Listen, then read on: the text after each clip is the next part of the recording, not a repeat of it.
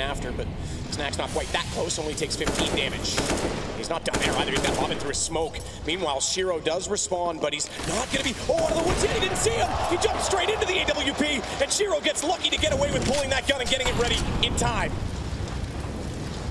That Molotov's not nearly as deep as Shiro would have liked. He's got to be cautious on the fallback, but he's going to be coming up the stairs at the perfect time. If Shiro can just spot it out, timing is everything. He's looked off, he's looked off on it. The timing was in his favor, but then as soon as he backs away, oh. my God. Oh, but he, he still just doesn't know. He didn't call it, he didn't call it. He does turn around and get both. Never mind, the flank Exile was there, but they didn't know. They almost got both caught off by looking the wrong direction, but instead Shiro has an excellent